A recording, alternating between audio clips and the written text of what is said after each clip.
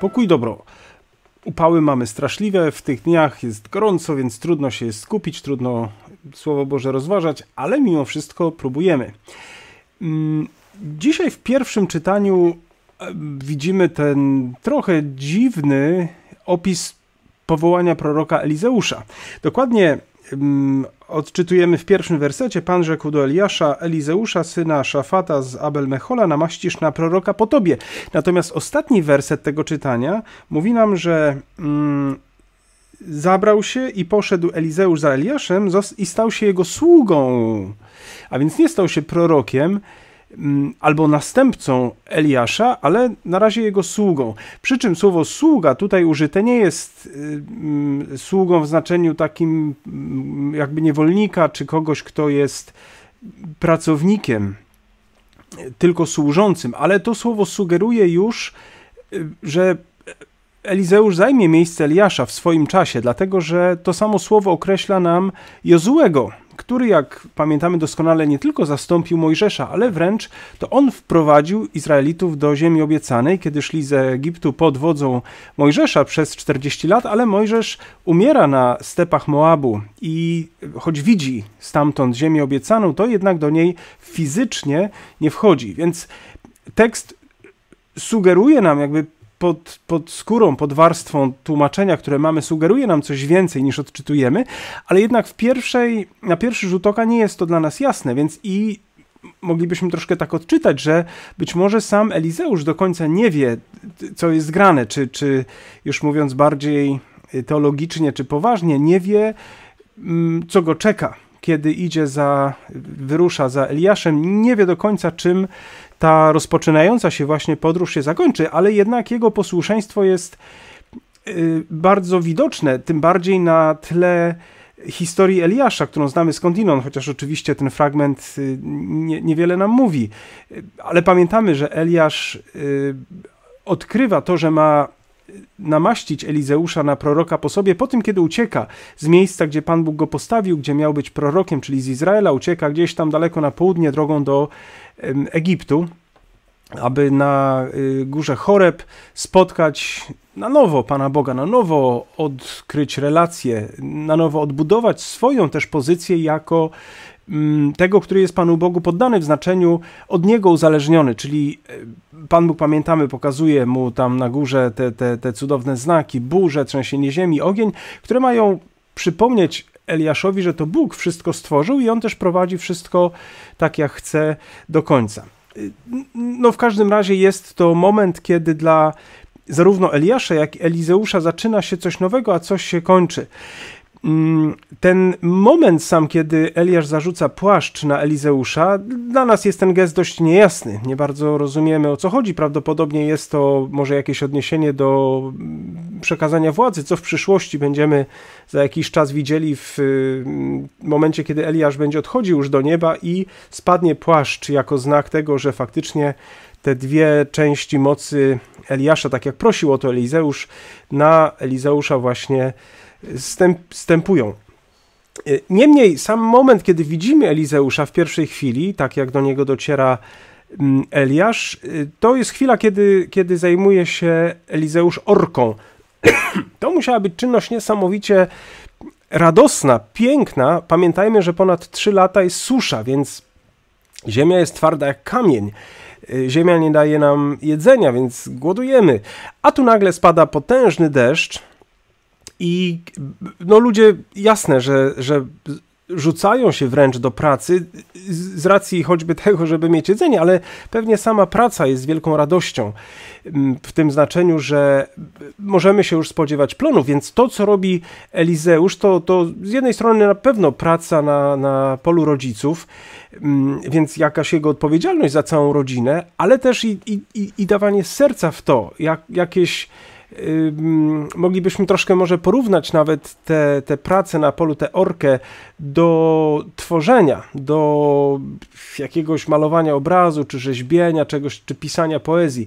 To jest, y, no nie, nie chcę przesadzać i mówić, że to jest coś super mega wykwintnego i w ogóle sztuka sama w sobie, ale, ale jakiś może drobny elemencik tego był w tym znaczeniu, że była to nie tylko ciężka praca, ale jakoś radość. Po, po tej śmierci suszy, długo, długo trwającej, teraz wreszcie jest szansa na plony, na, na, na normalne życie, na, na powrót do, do takiej zwykłej codzienności, która smakuje nareszcie dobrze po, po tym, kiedy spadł deszcz. Y, sama y, ta liczba podana wołów sugeruje nam, że rodzina Elizeusza jest zamożna. To są ludzie bogaci. Mm, I y, w momencie, kiedy Eliasz powołuje Elizeusza, Elizeusz decyduje się tak gorliwie na to, żeby pójść za Eliaszem, czy za wezwaniem Pana Boga, ale e, bardzo charakterystyczne są te jego gesty, czyli to, że zabija woły i pali jarzmo i na tym ogniu mm, też przyrządza mięso, no i jedzą on sami i, i ludzie, którzy byli z nim, jacyś tam jego służący czy jego współpracownicy. E, oczywiście tekst nie mówi nam tego dosłownie, ale możemy zrozumieć tak no, troszkę poza tekst wychodząc, że to zabicie wołów jest jakimś odcięciem się radykalnym od tego dawnego życia, chociaż nie było ono przecież złe w żaden sposób, tym bardziej, że teraz odnalazł niejako Elizeusz głębszy sens, kiedy minęła susza, pada deszcz, ziemia na nowo będzie wydawała owoce. I, I, tym bardziej też widzimy jego relacje z rodzicami, kiedy, kiedy powołuje go Pan Bóg przez Eliasza. On mówi, no, no, ale na chwilę chciałbym też jeszcze wskoczyć do, do rodziców, pożegnać się z nimi, więc e, to jest jakieś jego miejsce, które odnalazł na ziemi, jakiś jego sposób życia, ale wywołany przez Pana Boga, on zostawia go radykalnie, to znaczy zabija te woły, tak jakby palił mosty. Nie, nie, nie w znaczeniu jakiegoś żalu, gniewu, buntu, tylko decyzji, którą y, zamyka dotychczasowy etap życia, co otwiera mu jasną drogę do tego, żeby wyruszyć dalej. I to spalenie jarzma y, też możemy rozumieć symbolicznie jako, jako spalenie takiego sztywnego sposobu życia, może nawet jakiegoś patrzenia na przyszłość, bo być może miał ułożony sposób życia, no, patrząc na, na, na przyszłość, na kolejne lata, tutaj na polu, miał zagwarantowany pewien spokój, jakieś bezpieczeństwo, stabilność w domu rodzinnym, mając pole, będąc dość zamożnym, więc nie musiał się pewnie martwić o to, co będzie później. Ale kiedy Pan Bóg wyrywa go dość nagle y, z tego y, takiego sposobu myślenia co do przyszłości, on jest na to gotowy, czym pokazuje, że prorok będzie z niego rzeczywiście nie lada. Człowiek gotowy na wszelkie wezwania Pana Boga, na, na drobne natchnienia, na jakieś poruszenia serca, które Pan Bóg daje, więc Elizeusz za tym chce pójść, ale my widzimy w tym tę zgodę, te radykalne, to radykalne odcięcie się od od przeszłości, tak, aby kroczyć za Eliaszem. I tu jeszcze jest jedna, mm, jeden drobiazg, na który chciałbym zwrócić uwagę, mianowicie wziął parę wołów, złożył je na ofiarę i ugotował ich mięso. Te dwa słowa złożyć. Tu, w polskim y, tłumaczeniu już mamy to jasno określone y, przez słowo ofiarę, ale, ale y, w ogóle to złożenie, złożyć na ofiarę i ugotować mięso to są dwa słowa wzięte z innych fragmentów, gdzie rzeczywiście są bezpośrednio odniesieniem do rytualnego użycia mięsa, tak to nazwijmy, więc i tutaj możemy widzieć w tym geście Lizeusza kilka rzeczy. Po pierwsze, y, złożenie ofiary uwielbienia Panu Bogu, takie podziękowanie Panu Bogu w sposób rytualny, oficjalny, konkretny. Mm, też właśnie zabijając, on odcina się od przeszłości, ale też i daje jeść swoim towarzyszom, tak jakby żegnał się z nimi jakąś taką ucztą, imprezą. Byśmy powiedzieli, że grilla zrobił, powiedzmy, ja pamiętam, kiedy odchodziłem z pierwszej parafii, po, po no niewiele tam nie byłem, bo dwa i pół roku, ale, ale na koniec y, z, z młodzieżą, też ze wspólnotami mieliśmy takie ognisko wieczorem. No więc to było takie u, u, ugotowanie mięsa wołów na, chociaż wołów chyba nie mieliśmy za bardzo, tylko y, parówki i to też nie wiem, czy chyba świńskie bardziej niż wołowe. No w każdym razie taka sobie uczta pożegnalna y, jako pewien punkt konkretny odniesienia, że coś się kończy, coś zaczyna, to mieliśmy. Y, natomiast, mimo że oczywiście mamy tutaj wyraźną różnicę y, w pierwszym czytaniu i w drugim językową, pierwsze hebrajski, drugi, drugie czytanie język grecki, bo to list świętego Pawła do Galatów, to jednak w tłumaczeniu wychodzą nam y, interesujące rzeczy. Mamy zarówno i tu, i tu słowo jarzmo i słowo zjadać. Tutaj ci zjedli mięso tych, tych zwierząt. Natomiast w drugim czytaniu Y, święty Paweł mówi nam: Nie poddawajcie się na nowo pod jarzmo, skoro Elizeusz je spalił jako sygnał pójścia za Panem Bogiem, więc nie, nie, nie wchodźcie na nowo w jarzmo, które was będzie krępować. No i uważajcie, żebyście się nawzajem nie zjedli, bo nie macie jeść siebie, tylko tę ofiarę dla Pana Boga w znaczeniu świętować, uwielbiać Go, dziękować Mu. I już nie wchodząc dokładnie w to dokładny, dokładny kontekst Y, listu do Galatów, y, czyli co tam się działo w tej Galacji, jakie były sytuacje, czy do czego bezpośrednio nawiązuje święty Paweł, y, to zwróćmy tylko uwagę, że on przeciwstawia dwie rzeczy sobie, czyli hołdowanie ciału, pójście za pożądaniami ciała. Za... Te pożądania możemy rozumieć nie tylko jako potrzeby ciała, Oczywiście nie mówimy o naturalnych potrzebach, takich jak, że trzeba zjeść, a potem jak się zje, to wręcz przeciwnie z tym jedzeniem coś tam zrobić, ale raczej tu chodzi o pożądania w znaczeniu pragnienia ciała, które nie jest y, poddane duchowi. Czyli to nie tyle są potrzeby ciała, ale raczej żądania. Ciało jest jak taki y, król, y, który stał się hegemonem, stał się takim szalonym władcą, który sobie życzy zrobić to, tamto czy siamto. Tak jak dziś na przykład widzimy to na świecie w Rosji, kiedy, kiedy Putin jako władca zachowuje się tak, że postanawia napaść na jakiś kraj i napada po prostu sobie, tak jakby nigdy nic, tak jakby było to y, wyjście do ogrodu i podlanie powiedzmy rzodkiewki, więc y, to, to, to są rzeczy szalone, rzeczy na pewno demoniczne, to bez dwóch zdań. Więc tak może też funkcjonować nasze ciało ze swymi pożądaniami. Ono sobie decyduje, ja będę chcieć tego, ja to i tamto. Jeśli, mówi święty Paweł, nie jesteśmy poddani duchowi, to będziemy poddani ciału. Nie da się być niepoddanym nikomu, ale to my jednak możemy wybrać mimo wszystko, komu się poddamy. Ale chodzi o to, że on o tym hodowaniu ciału, o tym byciu y, kimś, kto spełnia pożądania swego ciała, znowu, ciało nie tylko w znaczeniu fizycznym, anatomicznym, e, ale w znaczeniu y, siły, która nie jest poddana duchowi, nie jest skierowana y, mocą ducha. Zatem on mówi, jeśli u was jeden drugiego kąsa i pożera, baczcie, byście się wzajemnie nie zjedli. Jeśli poddamy się na nowo pod jarzmo niewoli naszego ciała w znaczeniu myślenia, poddawaniu się, poddawania się emocjom albo nieporządkowania, nie poddawania emocji, naszych odczuć,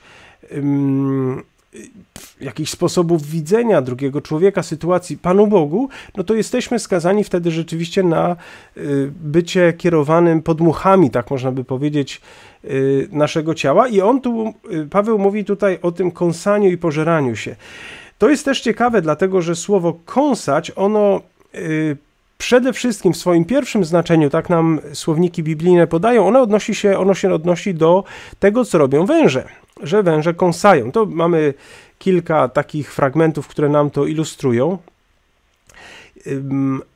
I tu oczywiście Paweł pewnie do tego nie nawiązuje, ale moglibyśmy taką mini wycieczkę zrobić w stronę duchowego rozumienia tego kąsania, czy, czy odniesienia do węża, który, jak przecież doskonale wiemy, jest y, symbolem y, szatana, złego ducha. To mamy choćby w Apokalipsie. Wąż starodawny czy, czy w Księdze Rodzaju to pewnie przede wszystkim, e, kiedy, kiedy wąż mm, atakuje Ewę w znaczeniu tym, że kusi ją i ostatecznie do zła, do grzechu doprowadza, więc to kąsanie, czyli takie działanie wężowe, możemy przejąć i my. Więc jeśli kąsamy się nawzajem, to tak jakbyśmy wypełniali podszepty mm, węża, który, który no, prowadzi nas do tego, żebyśmy niszczyli się nawzajem. Więc to jeśli, jeśli się kąsacie i pożeracie, to też ojcowie, zdaje się od Jana Chryzostoma, o ile pamiętam, yy, tak to wyczytałem, on, on zdaje się był pierwszym, który y, zasugerował, żeby te określenia kąsać, pożerać i potem dalej byście się wzajemnie nie zjedli, żeby odnieść do dzikich zwierząt, które w ten sposób y, walczą, y, tak się raniąc, aż wreszcie się pozabijają. Mm, więc Paweł mówi, no to bądźcie ostrożni, żeby, żebyście tak nie postępowali, bo, bo nie jest to wasze zadanie, żebyście się pożerali, kąsali i w ten sposób, żebyście się niszczyli, bo jesteście we wspólnocie, która idzie za Chrystusem. Każdy z was idzie za Chrystusem i tym samym idzie cała wspólnota. Y, jest też ciekawe, że Paweł używa tutaj czasu teraźniejszego. Y, gra, nie, nie chcę o tym już mówić, ale gramatycznie jest to też ciekawie zrobione. Cała konstrukcja tego zdania. Y, niektórzy próbują tak dosyć ciekawie to ukazać jako, jako Y, pewne następstwo, że jeśli by przyznać, że Paweł mówi o faktach, o których wie, że się kąsają i pożerają, no to mówi w takim razie niechybnie będzie zmierzało to do tego, że się pożrecie. W każdym razie dla nas jest ciekawe to, że mówi w czasie teraźniejszym, że jeden u was jeden drugiego kąsa i pożera, tak jakby rzeczywiście wiedział, że tak jest, albo przynajmniej zakładał, że tak, tak się dzieje. Niemniej jest to pewne ostrzeżenie po prostu dla nas, że, że jest to możliwe, kąsać i pożerać się nawzajem. I, i, i zauważ, zauważmy jasno, że to nie jest y, list skierowany do, do, do pogan, do ludzi, którzy, których Paweł chce zaprosić do mm, życia z Panem Bogiem, ale to są ci, którzy już Chrystusa wybrali, a mimo tego po tej decyzji kąsają się nawzajem, wchodzą w jarzmo niewoli i pożerają siebie nawzajem, zamiast pożerać tak jak właśnie w pierwszym czytaniu to mięso oddane Panu Bogu, czyli dziękować Mu, wielbiać, yy, błogosławić. I przechodzimy do Ewangelii, w której Pan Jezus yy, idzie do Jerozolimy. Czytamy tutaj, to jest ten dziewiąty rozdział Łukasza, który od 51 wersetu, czyli pierwszego zdania naszej, naszego fragmentu, stanowi znowu, tak jak, jak w pierwszym czytaniu, ten moment powołania Elizeusza dla niego samego i dla Eliasza stanowi pewien przełom w życiu, tak tutaj y, ten werset stanowi przełom pewien w Ewangelii Łukasza, mianowicie y, wszystko, co Jezus teraz będzie robił od tej pory, jest drogą do Jerozolimy. Czyli Jezus postanowił udać się do Jeruzalem. I tu nie chodzi oczywiście tylko o wycieczkę krajoznawczą, tylko o to, y, co mówi chwilkę wcześniej Łukasz, że gdy dopełniły się dni wzięcia Jezusa z tego świata.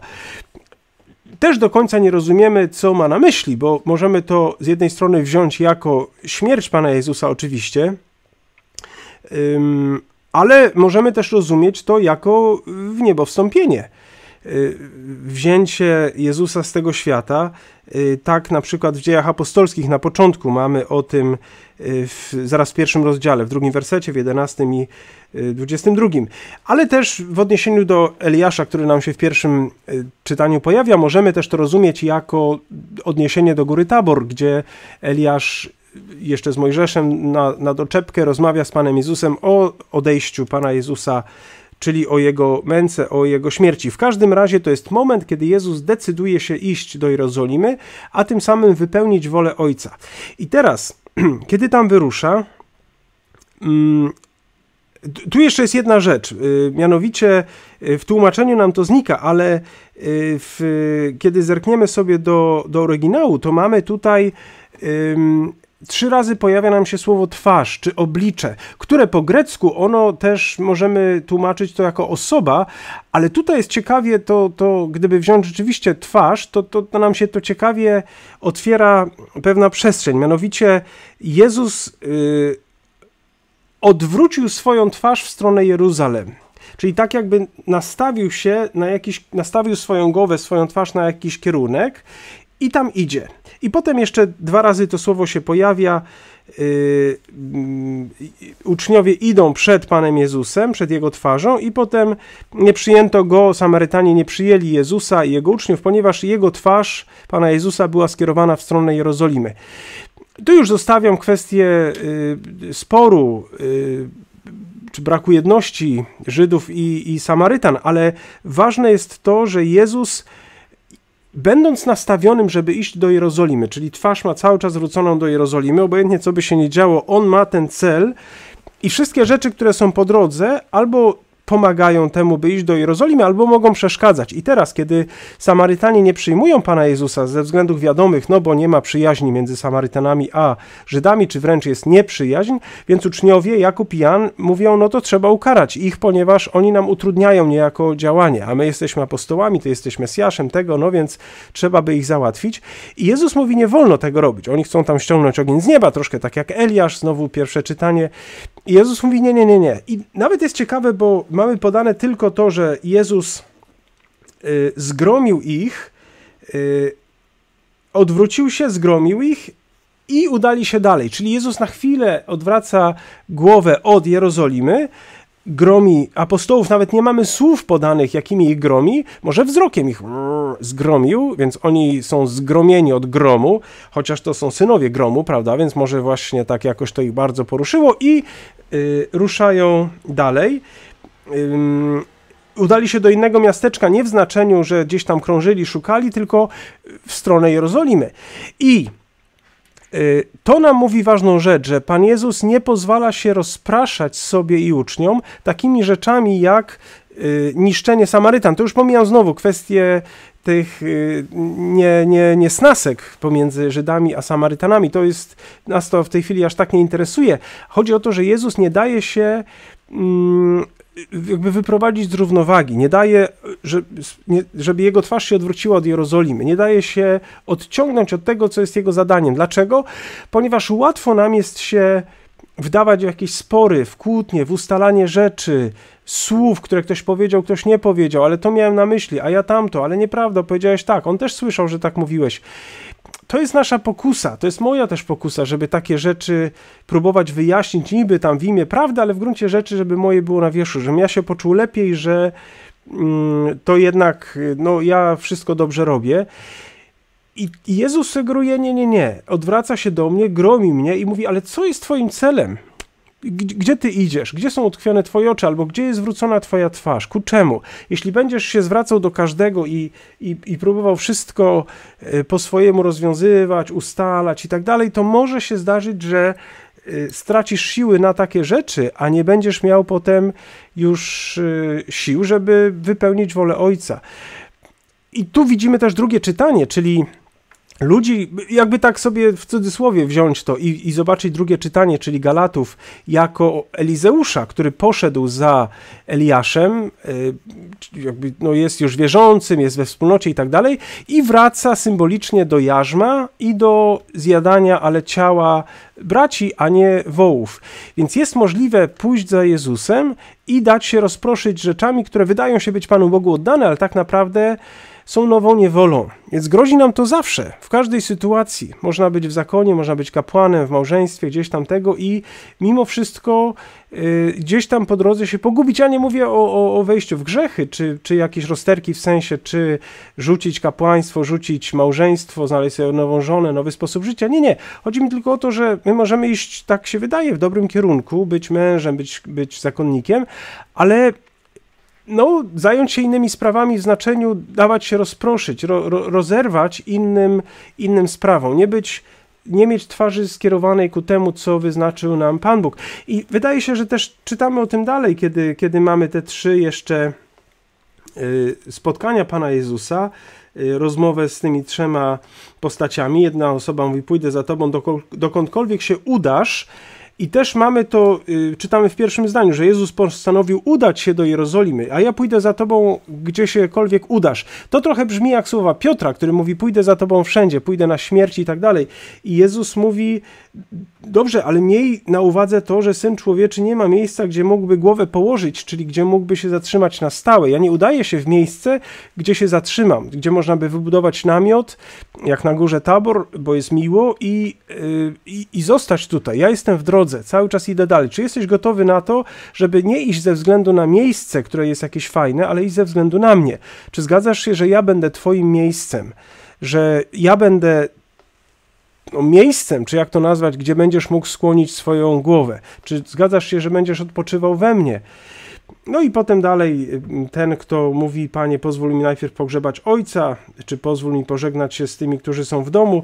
Jezus mówi, bądź ostrożny, bo to. Oczywiście Jezus nie mówi, że nie wolno iść na pogrzeb kogoś bliskiego, czy tam się żegnać z, z ludźmi, ale rzecz raczej w tym, żeby nie dać się znowu rozpraszać y, czymś, co nie jest dla nas konieczne, czymś, co może nam po prostu przeszkadzać w pójściu za, za Panem Jezusem. I na koniec myślę, że moglibyśmy sobie podsumować to, to, to rozważanie, że cokolwiek dziś byśmy nie robili w znaczeniu wiary, drogi wiary, czy, czy jesteśmy w małżeństwie, osobami jesteśmy samotnymi, czy szukamy wciąż drogi, czy jesteśmy w zakonie, w kapłaństwie, to jest zawsze problem, że możemy na nowo wejść w niewolę. I nie mam na myśli prawa, czy jakichś tam schematów i tak dalej, ale bardziej y, własne schematy myślenia, czy takie y, angażowanie się w jakieś ciągłe utarczki, spory niepotrzebne, słowne i tak dalej, i tak. Czasami po prostu trzeba to zostawić, przemilczeć, ze względu na to, żeby mieć siłę iść za Jezusem, po prostu okej, okay, no to w porządku, tak, tak, tak to było, no to w sensie ktoś mnie, nie wiem, oskarżył, coś tam powiedział. Okej, okay, okej, okay. ja idę po prostu dalej, bo wolę, wolę się nie angażować w takie rzeczy i być bardziej dla, dla Pana Jezusa. Więc wydaje mi się, że y, no, możemy rozumieć dzisiaj te Ewangelii nie tyle jako y, i pierwsze czytanie też y, samego Elizeusza, nie tyle jako jakiś radykalny wybór drogi życia, kogoś, kto na przykład zdał maturę i myśli sobie, no iść do zakonu czy nie, ale bardziej Oczywiście to też jest tu zawarte, ale bardziej dla nas, którzy już wybraliśmy, żeby pamiętać, że my musimy na nowo potwierdzać każdego dnia ten nasz wybór i, i w, nie tyle, że wybór pójścia za Jezusem, bo to się wydaje oczywiste, ale wybór nie poddawania się wiarzmo niewoli na nowo. Albo inaczej, pamiętamy, że w chyba 11 rozdziale Ewangelii Mateusza Jezus mówi: weźcie na siebie moje jarzmo. Albo jesteśmy w tym jarzmie, które gdzieś tam się nam na, na, nasuwa, te właśnie spory, jakieś różne tam rzeczy i tak dalej, żeby ściągnąć ogień na kogoś, albo jarzmo Pana Jezusa, czyli bycie z Nim, połączonym z Nim, pójście z Nim w jedną stronę, tak jakby jarzmo takie podwójne jak było, na parę wołów, żeby one się nie rozłaziły na boki, skierowane były w jednym kierunku. Tak samo my nakładamy, w jednym tym jarzmie jest Pan Jezus, w drugim ja i wiadomo, że nasza twarz jest skierowana w jednym kierunku. Tak jak y, Saint-Exupéry chyba mówił, czy, czy już nie pamiętam kto, ale że miłość to jest patrzenie w tym samym kierunku. No i to by nam tutaj ładnie odpowiadało, że y, patrzymy w tym samym kierunku, co Pan Jezus, mamy twarz zwróconą do Jerozolimy, czyli idziemy razem z Nim pokój i dobro.